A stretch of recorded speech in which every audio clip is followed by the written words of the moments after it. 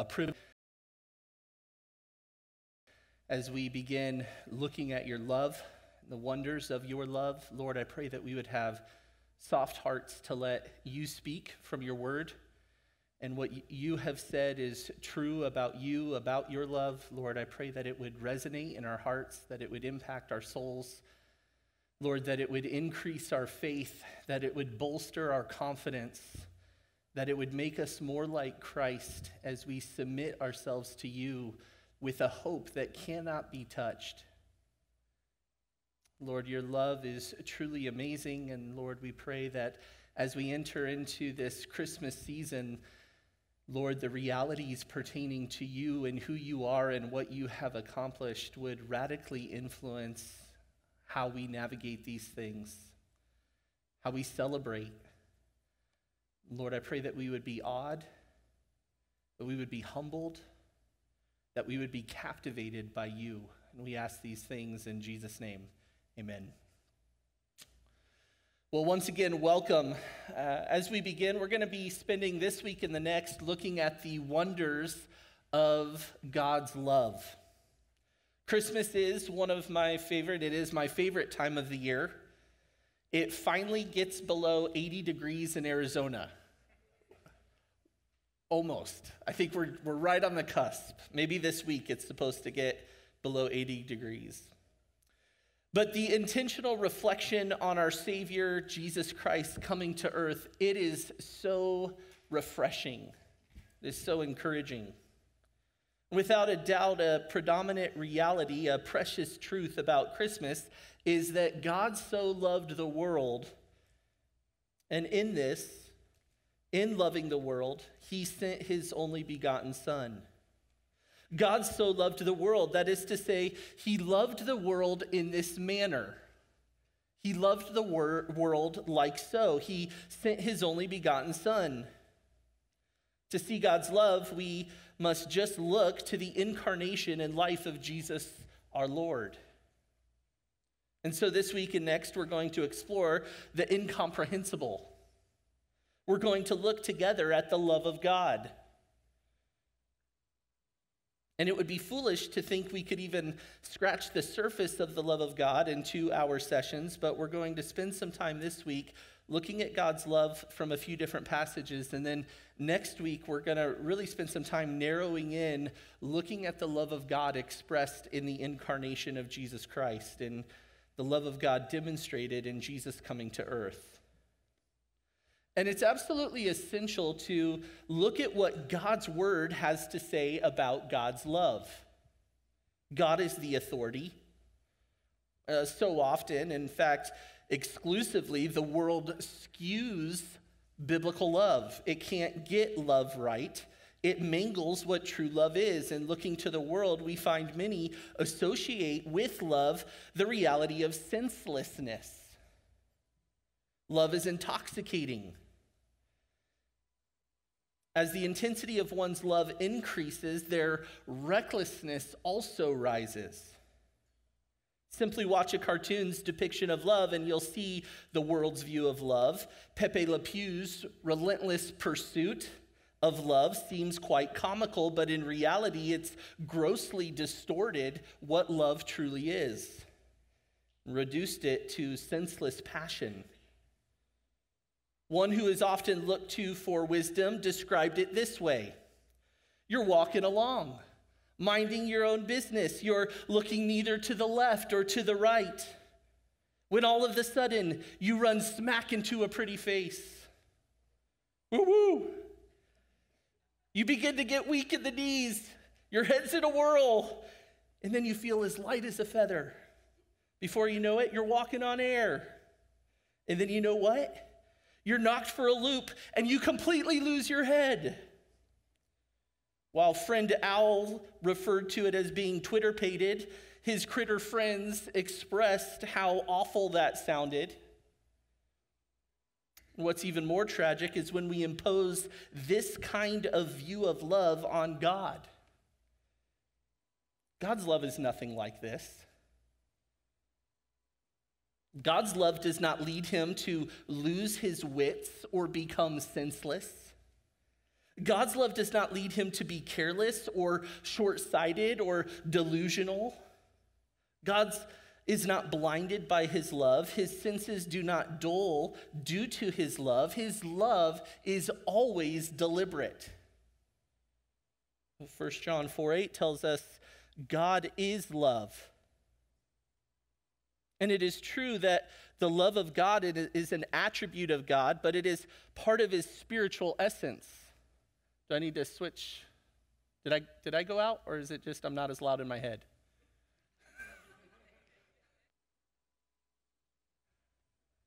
Keep going. Nope, that's okay. 1 John 4 8 tells us God is love, and it is true that the love of God is an attribute of God, but it is, it is part of his spiritual essence, his being. And some have wanted to use this verse to say that all of God is summed up in love. This is ridiculous. Thinking God is summed up in one virtue and one attribute as if the entirety of God could be summed up in love. That's not the point. It's actually the opposite. If you want to truly understand love, you look to God. Not because God is constrained or restrained or exclusively summed up in love, but because if you want to get the entirety of what true love is, look no further than to God Himself. Everything you need to know about love is found, can be found in God. And so we look to God to understand love. We look to God and we bask in the richness of His love, which expresses itself and evidences itself in many other elements of God, such as His goodness and His mercy and His kindness and His grace. They all find their origin in God's love. The love of God is truly wondrous, it is truly amazing. It must captivate our attention. So, as we discuss the love of God uh, further, it's important to define what we mean by the love of God. To sum it up in a phrase, which seems kind of silly to try to encapsulate the love of God in a phrase, but if we were attempted to do so, I've attempted to do so, you could say it this way The love of God is this God gives of himself to others for their good by his own choice, regardless of their merit or response. I'll say it again. God gives of himself to others for their good by his own choice, regardless of their merit or response. What we're going to do is we're going to look at four elements of this self giving love of God that he extends for others' good by his own choice without merit or response. We're going to look at four elements of God's wondrous love. And the first element that we're going to look at this morning of God's wondrous love is this God's wondrous love is unprompted. And that is, it's unprompted by something outside of himself. God's love, God's wondrous love, is unprompted. It is an undeserved love, it is an everlasting love. It doesn't originate out of what others are or what others can do for God. He has loved from everlasting. God's love originates, it is compelled, it is prompted only out of Himself. This is a free love, an unprovoked love. It's spontaneous in that it originates out of God Himself. It's not solicited by something outside of Him that then merits it or calls for it. There's not something outside of God that draws his attention to that object for which he will show love. It originates out of him by his own sovereign will. Turn to Deuteronomy 7.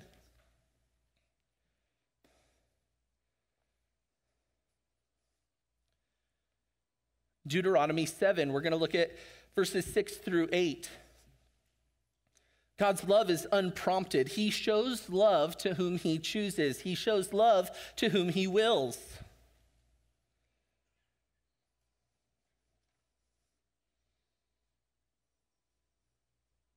In verse 6, it reads, For you are a holy people. So this is Deuteronomy chapter 7, starting in verse 6. For you are a holy people, that is, they're set apart to the Lord your God. The Lord your God has chosen you to be a people for his own possession out of all of the peoples who are on the face of the earth. And then look at verse 7. The Lord did not set his love on you, nor choose you, because you were more in number than any of the peoples, for you were the fewest of all peoples. But because the Lord loved you and kept the oath which he swore to your forefathers, the Lord brought you out by a mighty hand and redeemed you from the house of slavery, from the hand of the Pharaoh, king of Egypt. See, God's love is not a testimony to the value of the object of his love, but a testimony to the purity, to the holiness, the nature of his love. There was nothing in Israel that prompted God's love for them.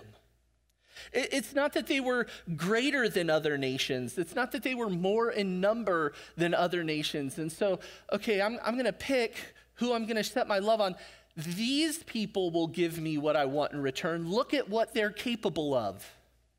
That's not how God thinks. That's not how God expresses love. That's not to whom God extends love based off of others' merit. He, he doesn't love Israel because they were more in number. I love how God's put this forth in verse 7. I, I didn't love you because you were more in number, as if you were a greater nation. You had the fewest number. I might ruin a, a favorite Christmas hymn for some, but the line in O Holy Night that says, Till he appeared and the soul felt its worth, as if the appearing of our Savior is a testimony to the value of mankind. God looked at mankind, saw how worthy they were of such a love, and so he condescended and sent his son. That's a horrible view of love. That's a false view of love. God didn't send his son. He didn't extend love to the world because we merited it.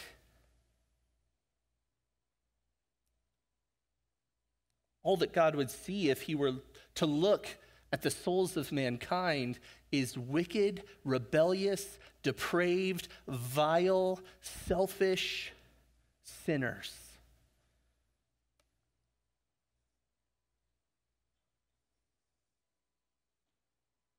He didn't save you, Christian, because your soul was more valuable than others. If you were to ponder verse 7, you, you, you would liken it to this I didn't save you because your soul was more valuable than others. I saved you because you were the least valuable. I don't know if you ever played sports with groups of friends as a kid, but everybody would line up and you'd pick captains, right? You'd have two captains, typically the two best players, and then they'd get to choose who they wanted on their team. And who would always get picked first? The best players, right? The, the players of greatest value to the team. And I always wondered what that'd be like, but as I waited and oftentimes got picked last, I knew why.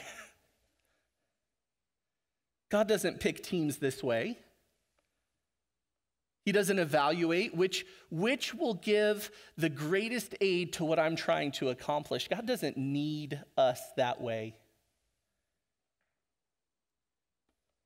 His love is unprompted. He's not evaluating, evaluating what he can gain. John MacArthur tells a story that he had an opportunity to read the will of Jeffrey Dahmer. Do you remember Jeffrey Dahmer? He was the mask murdering homosexual who killed 17 and cannibalized a, a, number of them. He died at the hands of some fellow prisoners. And it's reported that he had made a confession of faith in Jesus and had been baptized prior to his death. MacArthur says in Dahmer's will that he had a chance to look at, Dahmer repeatedly expressed his genuine faith in the Lord Jesus Christ and confidence that Christ had forgiven all his sin. And the chaplain that interacted with Dahmer said that there was no question in his mind, but that the faith of Jeffrey Dahmer was indeed placed in Jesus Christ and that he is now in Christ's presence. I, I don't know if Dahmer's faith was sincere, but I do know that God's love is more than enough to save the most vile. God's love is unprompted and not contingent on someone's moral excellence. And if we exclude someone from being reachable by God's love because of their own moral standing, God's love is no longer exclusively a testimony of his virtue. Because God's love is unprompted by anything outside of God Himself, we can actually say to anyone that if you believe in the Lord Jesus Christ, He will forgive you. He will forgive your sin, He will redeem you. Just like He forgave the sins of Paul, who said he was the chief of sinners, he was a blasphemer, a persecutor, a murderer. We are indeed free to proclaim the love of God far and wide because there are no restrictions on whom God is willing to lavish love upon. No conditions that must be met in an individual before they are qualified to receive the love of God. Where people get tripped up is thinking the inevitable response to God's love is the occasion for it right? We get things backwards. The inevitable response of what someone does when God lavishes his love, that's the reason for it. And that's not the case. Just because there's a result of God's love doesn't mean that that result is the occasion for it. God does not love us because he knows we'll love in return, and so then it's worth it for him. When God lavishes his saving love upon someone, his love is so transformative, you love him back. That's a testimony to the intensity and, and purity and effects of his love. It's not the occasion for it. I think that's oftentimes where people can get confused. God loved me because he knew I would love him back. He knew it would be worth it. Well, of course, he knew those things. The only response that one can have to a, a saving love of God in Christ is to repent, is to submit to him.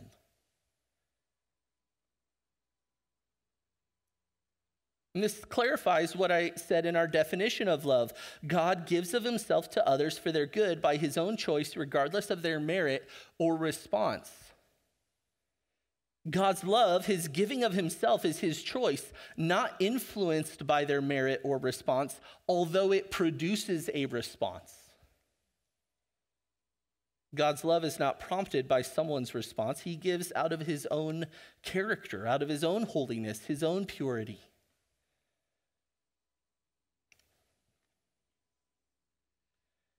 Have you ever had the thought, God could never love me? You don't know what I've done. You don't know what I'm really like. You don't know what really goes on in my heart. The reality is, none of us are lovable. That's not why God lavishes love on his children. The love of God shows to mankind that God's love is, is unprompted, it is pure, it originates out of Himself, it is for His glory, for His purposes, and it is always undeserved, always unprompted. As I mentioned before, all we bring to the table is what is unlovable, which makes the wonders of God's love that much more impressive.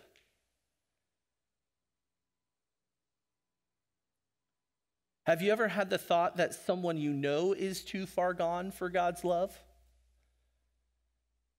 They've rejected too many times. It's hopeless. You don't know how they live. You don't know the utter disdain they have for God. Oh, they just hate God. They, they shut down all conversations about God. They want nothing to do with God. Their whole life is an outward display of rebellion against God. Got great news. That summarizes every single person before God saves them.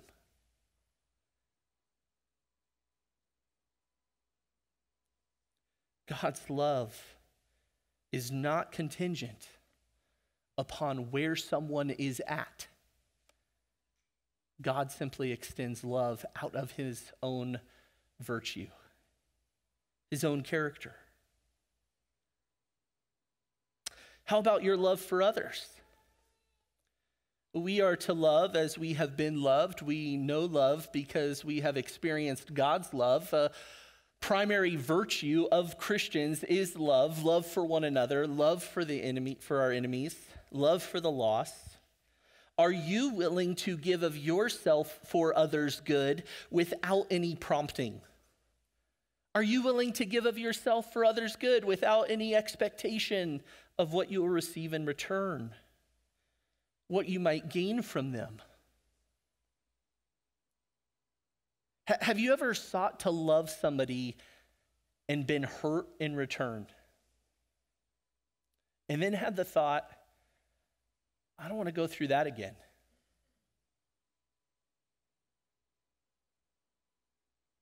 Have you placed conditions, expectations, necessary prompting for your love for others? We must repent of such things. We must love as we have been loved. First, the first wonderful reality of God's love is that it is unprompted. Second, what we're going to look at this morning is that God's wondrous love is this it's indiscriminate. He has an indiscriminate love. Turn to the book of Jonah. The book of Jonah. God's love is indiscriminate. Jonah is called by God, you know the story, to go to Nineveh and proclaim judgment upon them for their wickedness. And Jonah is displeased with that instruction from the Lord. And so he attempts to flee to Tarshish. And God provides some course correction for Jonah through a vigorous, intense storm Jonah knows he's the reason why these sailors are having to navigate this storm. And so he is cast into the sea and swallowed by a great fish. And Jonah goes then to Nineveh and proclaims judgment against them. And Nineveh repents. And then look at verse 1 of chapter 4. Nineveh repents. And here's Jonah's response verse 1 of chapter 4 of Jonah. But it greatly displeased Jonah, and he became angry, indignant. Jonah was displeased. It greatly displeased Jonah. He became angry, and then keep reading. He prayed to Yahweh and said, Please, Yahweh, was not this what I said while I was still in my own country? Therefore, in order to forestall this, I fled to Tarshish, for I knew that you are a gracious and compassionate God. He's upset that God showed compassion. He's upset that God was gracious to these people. He goes on to say, slow to anger and abundant in loving kindness, and one who relents concerning calamity. I knew you were going to forgive them you don't understand how truly wicked they are. We are your people. Israel's your people. You're not, it's not right that you would save them that you would show mercy and compassion and love to them, loving kindness. And Jonah is so distraught, he gets away from the city. He's furious at what God is doing. And then, verse six, if you look just down a little bit farther, so the Lord God appointed a plant and it grew up over Jonah. God's going to teach Jonah some things here to be a shade over his head to deliver him from his discomfort. And Jonah was extremely happy about the plant. The plant is serving Jonah's purposes, but he's furious about the repentance of Nineveh and that God is relenting in his judgment against them. Then God appoints a worm, and the worm eats and kills the plant. And once again, Jonah is enraged. God asks Jonah again in verse 9, Do you have good reason to be angry?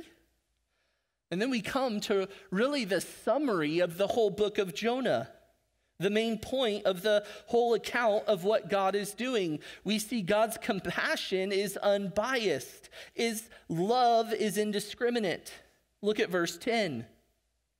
Then the Lord said, You had compassion on the plant for which you did not work and which you did not cause to grow, which came up overnight and perished overnight.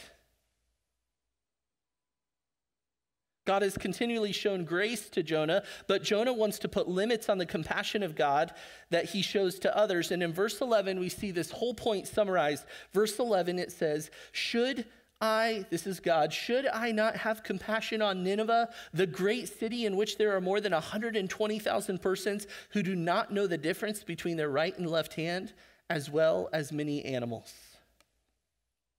Verse 11 is the key to understanding the entire book. God's love is not limited to one particular people or person, it's not limited to man's wisdom or man's purposes.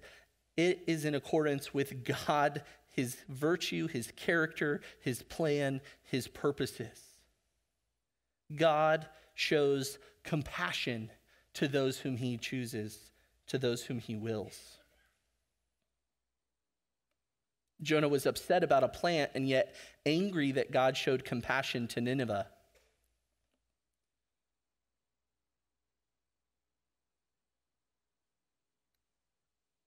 There are more than 120,000 persons who do not know the difference between their right and left hand. This is most likely referring to children six and under, which puts the population of the whole city most likely around 600,000, as well as many animals. Jonah's upset about a plant being destroyed, but he wants a city with 120,000 children, six and younger, and full of animals to be destroyed. And so this book ends with God presenting a contrast between two paths. Jonah's view and God's view. Jonah's way was different from God, and he's upset because God didn't do it right from Jonah's perspective. And God says, All my ways are right, and my love reaches far beyond one people group. Jonah's sinful response to God's way is not here so that we can say, God, thank you, I'm not like Jonah. I would never question you this way. Jonah is held up as a mirror for us to understand our sinful thinking and the distinct purity of God's ways and his thinking. The book of Jonah was a mirror for Israel as Jonah was a representative of Israel, but it's a mirror for us as well. Are we trusting God's character, his choices of what is best? And this is easy when God raises up what makes sense to us, what provides immediate comfort or relief, particularly physically, as we see in Jonah's case with a, a plant for Jonah. But it's hard when something doesn't make sense to us, when something is outside of our own agenda, our own desires, our own thoughts. Jonah made an idol out of his comfort. He valued a withering plant more than the withering souls of Nineveh. God is not to be subject to our whims. He's not obligated to act out all of our desires of what we think is best or what we think is right. This is an important lesson in thinking about how we ponder our view of God. Jonah knew something true to be about God's character, about his virtue, and did not want God to have occasion to act on it because he believed he knew better. Where do we know things to be true about God, and yet we are dissatisfied with the reasoning in our own mind of what God's word clearly says is true about him, and we seek to change God or be dissatisfied with him? in some manner.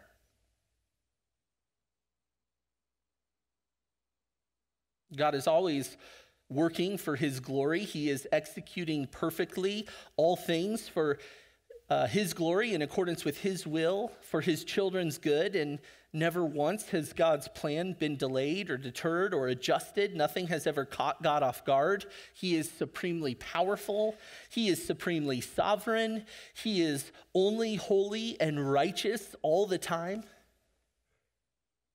He's worthy of our praise and our worship and our submission, even when we don't understand, even when it doesn't make sense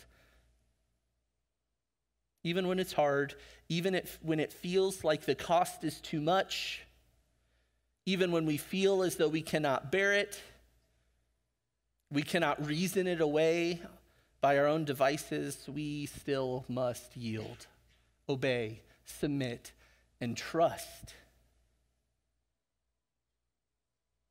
God's love is so holy.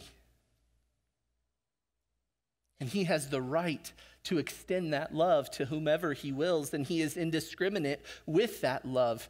He has not called for himself a certain type of person, a certain group of people. He shows compassion to whom he wills. What a glorious reality.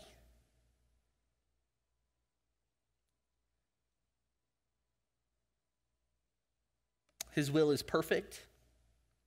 He is a God who loves to save. He is a God who is committed to his own glory. He loves his children. He is a God of compassion who cares with a deep love for those who are his and whom he will save. And how precious is this reality that God's love is indiscriminate? We don't have to suspect his motives. We don't have to be suspect of his purposes. He is supremely wise. He is the sovereign, omnipotent God, and He has the right to show compassion, to take pity, to extend love to whom He wills. These are wondrous realities of a amazing God. Number 1, his love is unprompted. Number 2, his love is indiscriminate, and number 3, his love is inseparable. Number 3, the third wondrous reality of God's love that we will look at this morning is that his love is inseparable, that it is, it, that is, it is permanent. Look at Romans 8.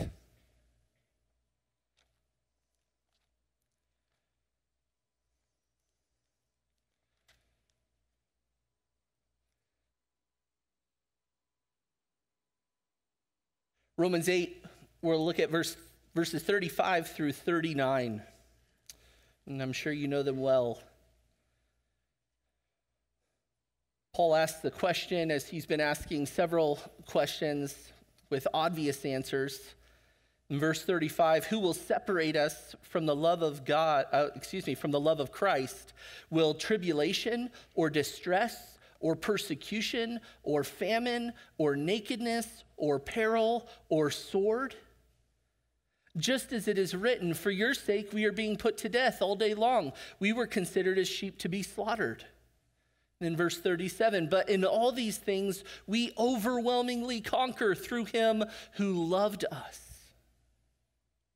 For I am convinced that neither death, nor life, nor angels, nor principalities, nor things present, nor things to come, nor powers, nor height, nor depth, nor any other created thing will be able to separate us from the love of God which is in Christ Jesus our Lord.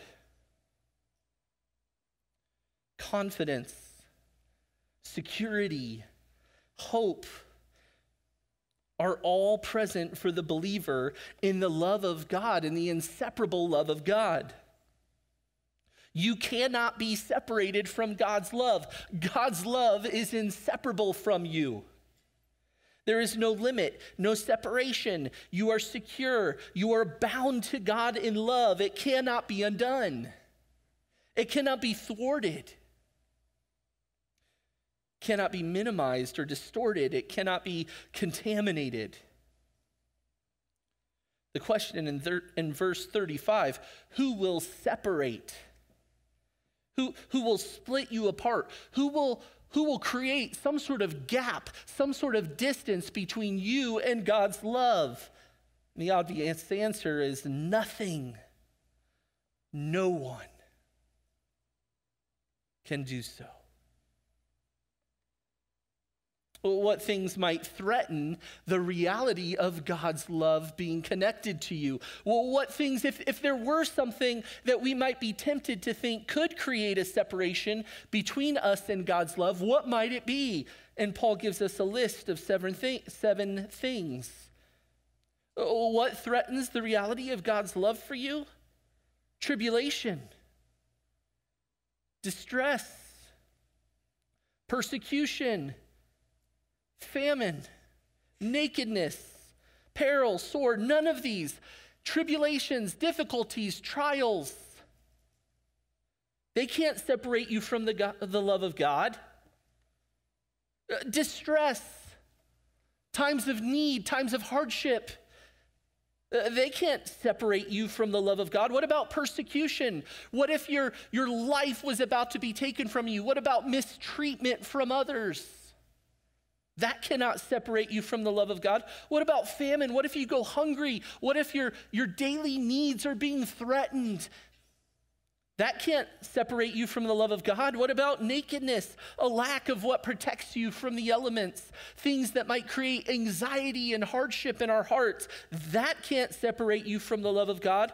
Peril, the sword, death itself.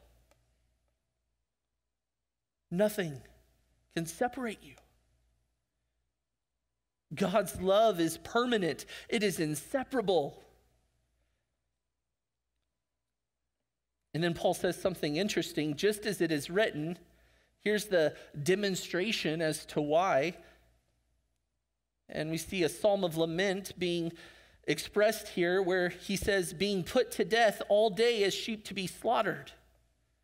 No suffering will separate you from God's love, just as it is written, you're going to suffer like sheep to the slaughter.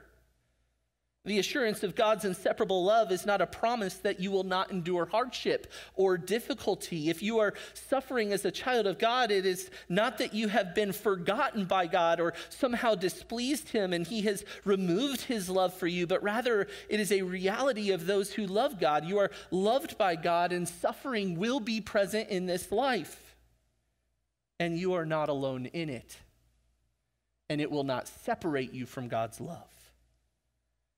But rather, the reality of those who love God, who are loved by God, is suffering in this life. And for those who love God, who are loved by God, you will overwhelmingly conquer.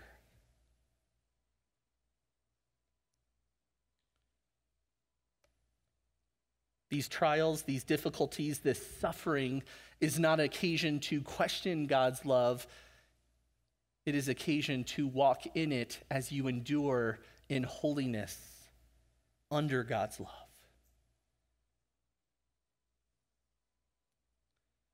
The reality of those who love God, who are loved by God, is suffering in this life is a reality. But in all these things, we overwhelmingly conquer through him who loved us. Trials, afflictions, hardships, suffering are not evidences that God has removed his love from you or that you have been separated, but rather your victory in the midst of those things that would tempt you to doubt God, your victory is evidence of his love for you. By the way, everything in verse 35, Paul himself experienced. Remember 2 Corinthians, he had abundant labor, beaten beyond measure, prison, close to death often. Five times he received 39 lashes from the Jews. Three times he was beaten with rods, stoned, three times shipwrecked, a night and a day in the deep, in perils of water, perils of robbers, perils of his countrymen, perils of heathens, perils of the city, perils of the wilderness, perils of the sea, perils among false brethren, weariness, painfulness, hunger, thirst, fasting, cold, nakedness, nothing, he says, nothing can separate you from the love of God. In all of those things, God is giving of himself for the believer's good. We go on to see in Verses 38 and 39, Paul is convinced of something that not death, nor life, nor angels, nor principalities, things present now, things to come, nor powers, heights, depths, any other created thing, absolutely nothing can separate you from the love that we find in God expressed in Christ Jesus. God's love is inseparable. When are you tempted to doubt God's love?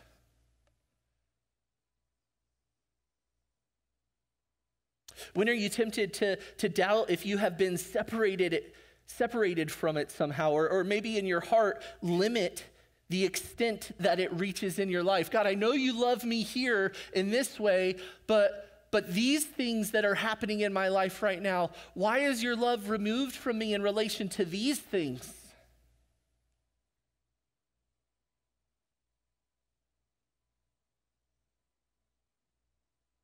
His love is close in relation to every area. In fact, it, is, it saturates every area. You cannot be separated from His love in any area. There is no area of your life untouched by God's love, Christian. From the highest peak to the lowest valley of your life, if you are a, a child of God, God's love is present. You may be separated from things in this life. You may be separated from good health. You might be separated from possessions.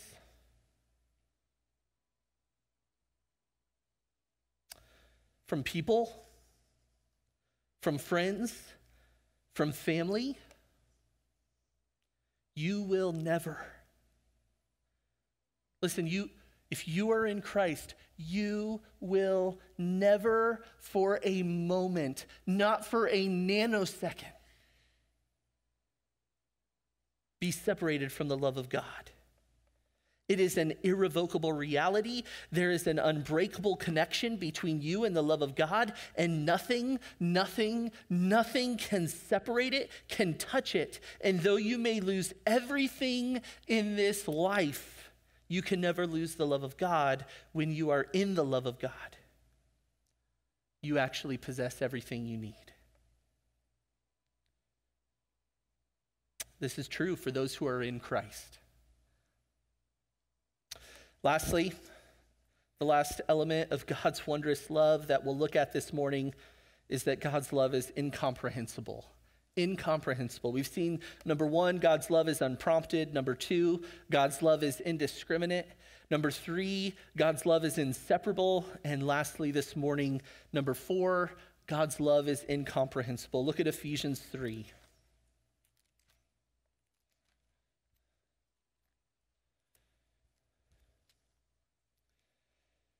Ephesians 3, starting in verse 14. Paul puts forth a wonderful reality. He says, For this reason I bow my knees before the Father, verse 15, from whom every family in heaven and on earth derives its name, that he would grant to you, according to the riches of his glory, to be strengthened with power through his Spirit in the inner man. Then, verse 17, so that Christ may dwell in your hearts through faith, and that you, being rooted and grounded in love, may be able to comprehend with all the saints what is the breadth and length and height and depth, and to know the love of Christ which surpasses knowledge, that you may be filled up to all the fullness of God. Here's a prayer that all the saints would understand the love of Christ, which surpasses knowledge completely. The greatest treasure that anyone could ever possess is not found in a thing, but it's found in the person of Jesus Christ. And if you're a Christian, you abide in Christ and he abides in you, you possess this treasure. And Paul is praying for the Ephesian Christians. He has something on his mind in his prayer. And we're going to go to the punchline here in verse 18, and it's that they may be able to comprehend with all the saints what is the breadth and length and height and depth, and to know the love of Christ which surpasses knowledge. Paul wants them to know the love of Christ. Then he says, which surpasses knowledge, it's incomprehensible.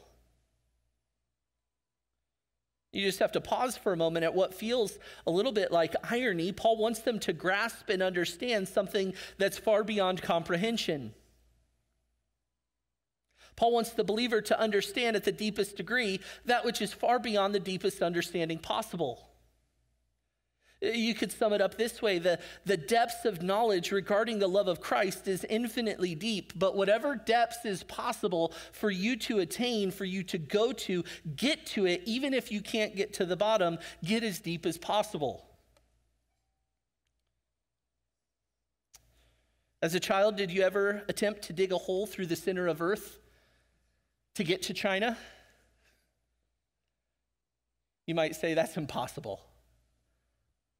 If you can get two feet, get two feet. If you can get six feet, good luck in Arizona. It doesn't work that way here.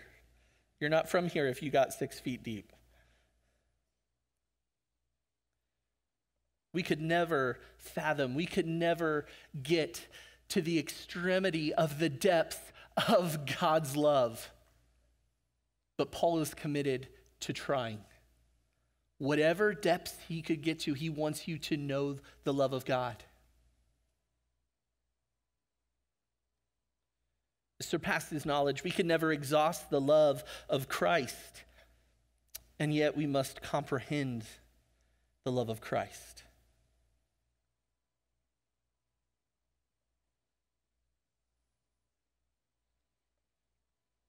The love of Christ is on a different plane than any other love.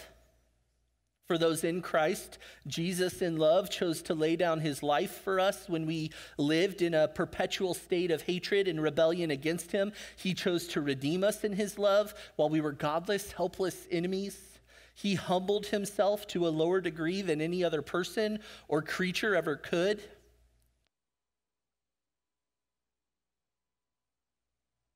He did so while the sinners he humbled himself to save seek to perpetu- perpetually exalt themselves.